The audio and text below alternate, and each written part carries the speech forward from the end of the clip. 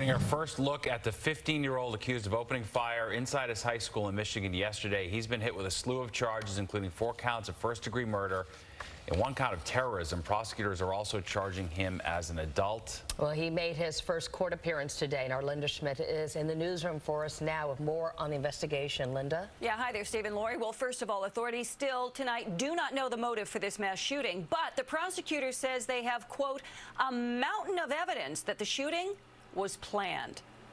And Mr. Crumbley, could you state your full name for us, please? Um, Ethan Robert Crumbley. Thank you. 15 year old Ethan Crumbley arraigned on murder and terrorism charges in the mass shooting yesterday at his Michigan high school. He is being tried as an adult.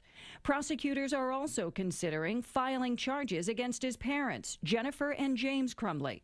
Authorities say the father bought the semi automatic handgun a few days before the shooting. The teenager is accused of killing four of his classmates and injuring numerous others, including a teacher.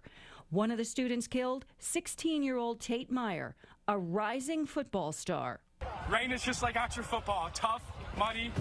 Everything about us is tough. A lieutenant provided new details about the shooting. The school security video shows Ethan exit a, a bathroom in the hallway and begin shooting at students. Students then barricading themselves in classrooms behind stacks of desks and chairs, others racing out of school to safety.